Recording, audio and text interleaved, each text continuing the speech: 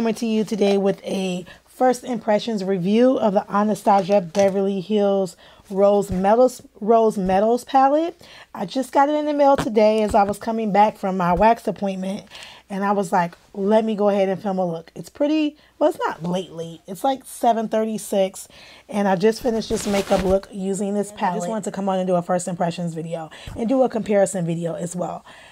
This palette is more gorgeous in person than the pictures online. I absolutely love this palette. I am an extreme fan of Anastasia, Anastasia Beverly Hills um, products, especially their eyeshadows. I'm not too fond of their brow products, but I love their eyeshadows. So I'm going to do a comparison of uh, the Rose palette and the Nouveau palette just because they both recently came out and I want you guys to see them together. So just one sec. I love the Nouveau palette as well.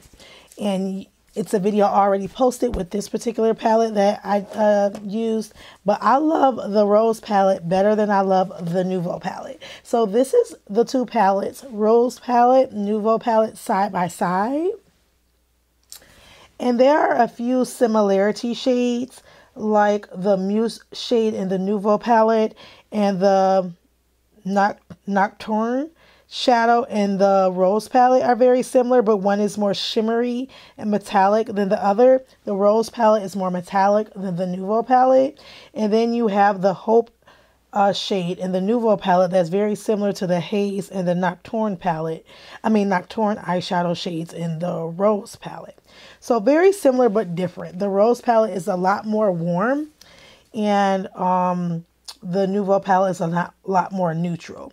Now, I do like that the Nouveau palette has some lighter shades that you can um, apply to the lid and transition shades. There are some lighter transition shades. So I like the Nouveau palette in that regard better. But I love the flexibility in the Rose palette because you can create a holiday look, a fall look, um, a smoky eye look, and you can create a stone deep neutral look. But you'll see the swatches. I didn't swatch this palette, so I'm going to have to take some product shots with this and insert this as well. So I'm going to swatch the Nouveau palette and swatch them side by side and I'll do some product shots side by side so you guys can see them. But I am absolutely in love with both palettes, but I do like the Rose palette let's say three notches better than the Nouveau palette. And I really love the Nouveau palette as with all Anastasia Beverly Hills eyeshadows, just if you're a beginner, if you're an expert, if you're intermediate, this palette will make a simple look amazing.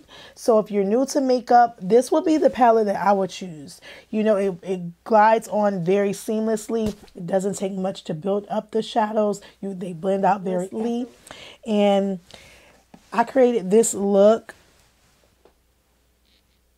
and it was very seamless to do it. It was really nice. It was really easy. It didn't take me a lot of time. Um, I did use concealer as my base and I set, and I'm going to show you what concealer I used so you guys can get more of an idea of how it matched up. I used the e.l.f. Stick Concealer in the shade Medium Dark, and I used the Charlotte Tilbury what is um, the Charlotte Tilbury. This one, I'm gonna have to show it to you because I can't, I don't remember the name of this, but I use this one to set it, Charlotte Tilbury.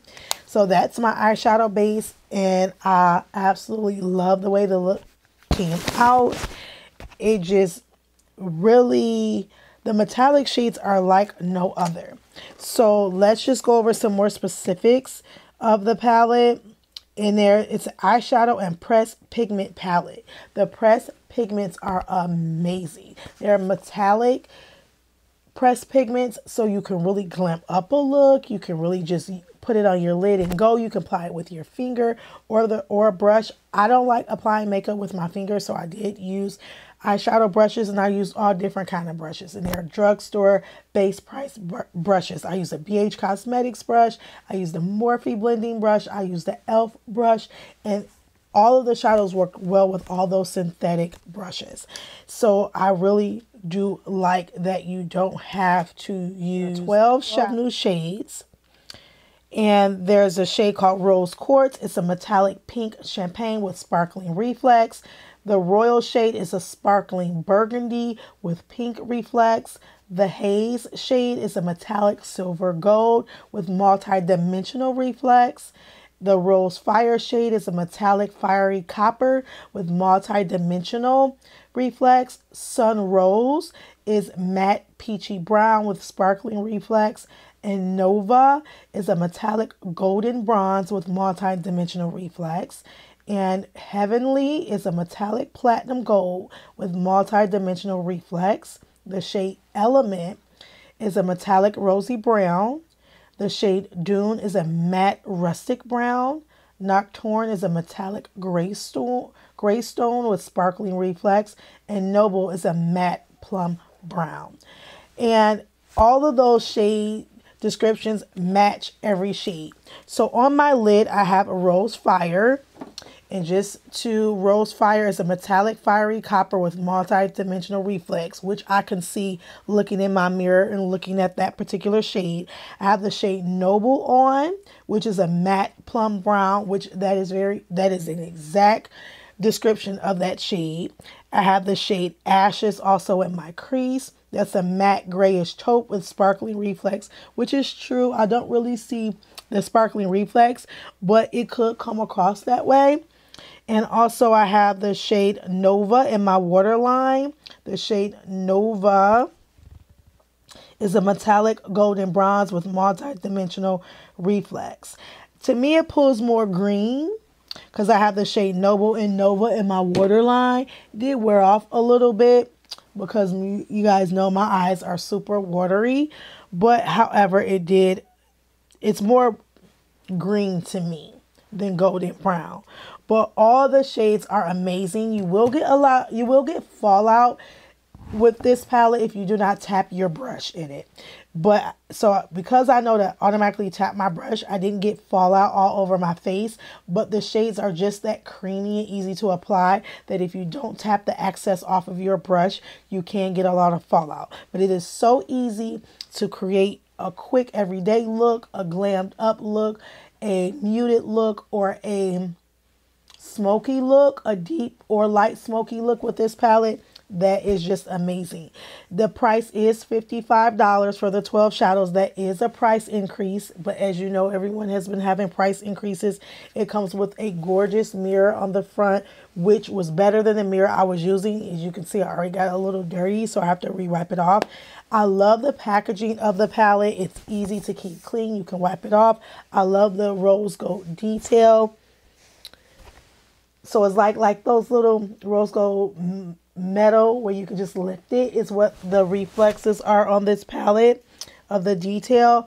I love Anastasia Beverly Hills packaging. They always do so well with the packaging. I love the aesthetics of the palette. I love how they're laid out in the palette. I have the shade Heavenly in my brow bone. So gave me a lot of glam in my brow bone. Overall, I would definitely recommend this palette. I just received a 15% off coupon today from Anastasia Beverly Hills. I'm like, where were you when I was when I bought this palette a few days ago? However, I bought this on a pre-release because I'm part of their like email wish list and all that kind of stuff. So I was able to get it on a pre-release. So I'm not sure if they even would have let me use a coupon code for this particular palette, but um, I love this palette. You guys should definitely get this. I have no doubts that you will love the formula, that you will love how it looks. You will you can create many looks with it. This is a very versatile palette. I just love palettes like this. So that's my overall first impressions. I hope that you guys like this video. Please like, comment, subscribe, and share. I'll see all your beauties in the next Caramel Curls 15 video. Bye.